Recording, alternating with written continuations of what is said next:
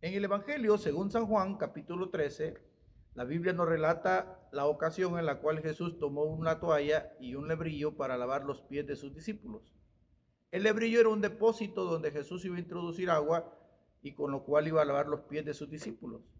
Pero dice la Biblia que comenzó a lavar los pies de sus discípulos y cuando llegó a donde estaba Pedro, Pedro le dijo, a mí no me vas a lavar los pies. Es más, se lo dice en forma de pregunta, Señor, ¿me lavarás? ¿A mí me vas a lavar los pies?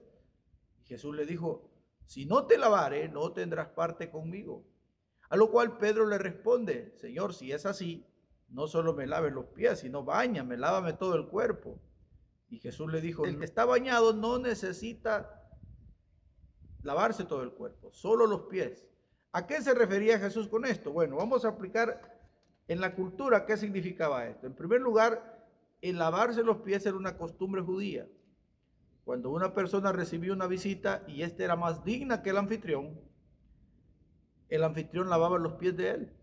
Pero cuando la persona era de menor dignidad que, que el dueño de la casa, éste ponía un criado para que lavara sus pies.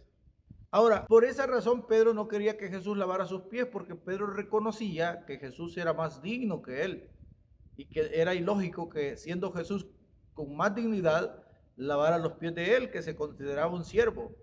Ahora, ah, ¿por qué Jesús le dice que el que está bañado no necesita sino solo lavarse los pies? Porque en el tiempo de Israel la gente se bañaba en un lugar y luego se trasladaba hacia donde se iba a poner su ropa y en ese trayecto, por ser un desierto, se ensuciaban sus pies.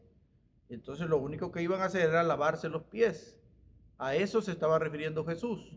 Pero esto tiene un significado espiritual que era lo que el Señor quería enseñar en esta ocasión y era que nosotros como cristianos hemos sido lavados con la sangre de Cristo hemos sido lavados de nuestros pecados y que, en el día a día muchas veces nos, nos ensuciamos con el pecado, con malos pensamientos, con malas acciones, con malos procederes, a lo cual ya no necesitamos una vez más volver a recibir al Señor como nuestro Salvador porque ya lo hicimos.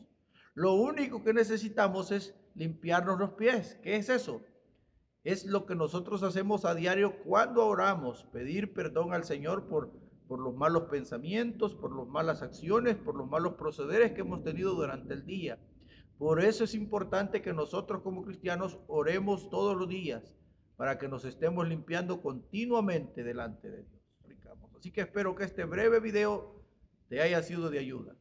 Que Dios te bendiga.